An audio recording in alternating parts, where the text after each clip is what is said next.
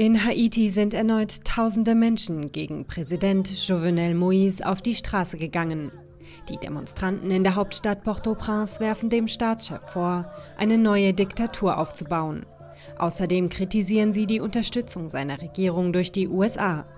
Die Opposition argumentiert, dass das fünfjährige Mandat von Moïse regulär am vergangenen Sonntag hätte enden müssen. Der Präsident hingegen gibt an, dass er bis zum Februar kommenden Jahres gewählt sei. Dieser Sicht schloss sich kürzlich das US-Außenministerium an.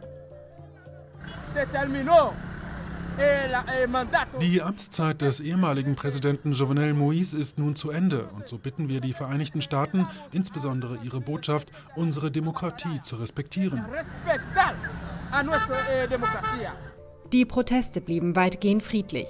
Vereinzelt setzte die Polizei Tränengas und Gummigeschosse gegen Demonstranten ein. Moïse gewann 2016 die Präsidentschaftswahl. 2017 wurde er vereidigt. 2018 sollten Parlaments- und Kommunalwahlen abgehalten werden. Sie fanden allerdings bis heute nicht statt. Seit einem Jahr regiert Moïse per Dekret, weil es derzeit kein Parlament gibt.